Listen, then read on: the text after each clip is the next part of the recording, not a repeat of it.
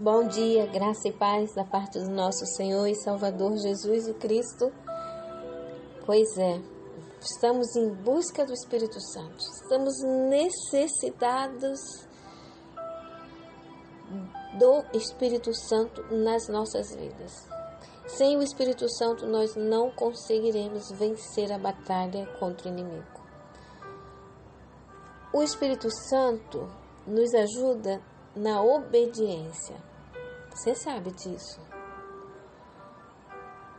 E ele é um dom para as pessoas dispostas a obedecer.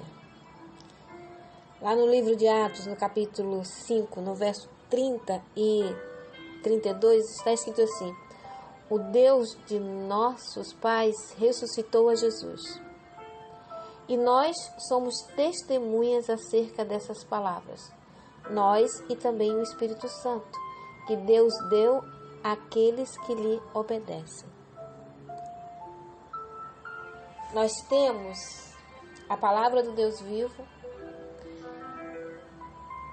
e em oração nós podemos receber o dom do Espírito Santo.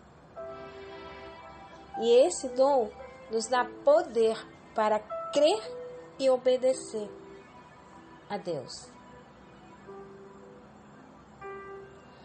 Algumas pessoas que são acomodadas, elas acham as verdades que falam sobre Jesus Cristo muito terríveis.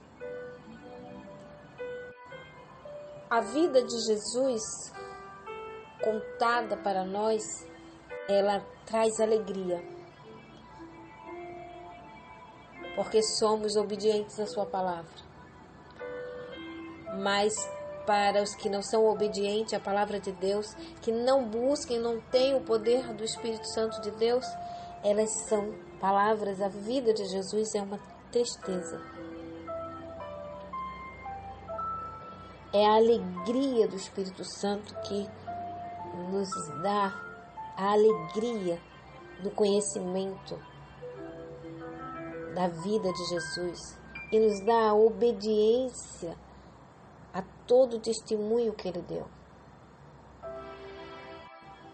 Toda aquela pessoa que recebe a Cristo pela fé viva e são batizados, recebem o Espírito Santo, se tornam cooperadores se tornam súditos, obedientes aos céus e recebem poder para viver uma novidade de vida. Existe um grupo de pessoas que não estão seguindo o exemplo da vida de Cristo e não estão mantendo a lei de Deus no coração e no exemplo. E infelizmente, mesmo assim, se acham santas. E estão prontas a se apropriarem da promessa de Deus, mas não querem cumprir as condições para receber essa promessa.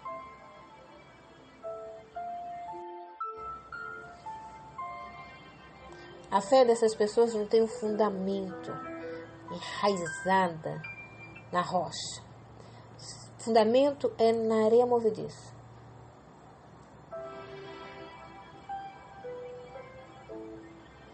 Mas tem uma classe que está firmada na rocha que é Cristo e busca o Espírito Santo para poderem ter força para abandonarem o mundo e se separarem dele.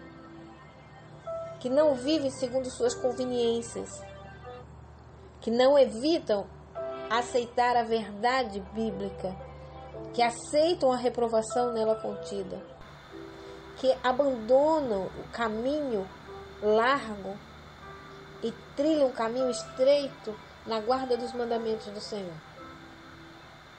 As promessas do Senhor que são dadas sob condições de obediência são feitas para aqueles que andam na luz da Santa Palavra. Os que cumprem a vontade de Deus podem reivindicar todos os benefícios que o Senhor prometeu. Nós, na verdade, só receberemos o Espírito Santo de Deus, a luz do céu, quando estivermos dispostos a nos esvaziar do eu. Não podemos discernir o caráter de Deus nem aceitar Jesus Cristo pela fé, a menos que consintamos em levar cativos todo o pensamento à obediência de Cristo. Para todos os que fazem isso, o Espírito Santo é dado sem medida.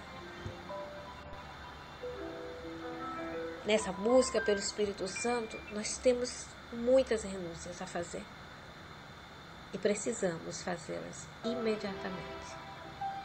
Amém? Vamos nos colocar de joelhos e falar com Deus? Oremos.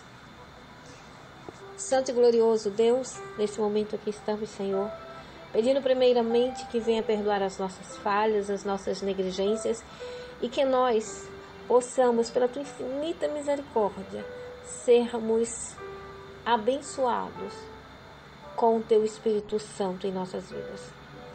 Que o teu Espírito, Senhor, possa nos levar à obediência completa, à fé verdadeira, à renúncia do nosso eu, para que nós possamos, Senhor, assim poder pregar a tua palavra com poder, com grande glória e viver uma vida de santidade, subindo a escada da salvação a cada dia, a escada da santificação, aonde, Senhor, nós possamos viver um amor completo a ti e ao semelhante nosso.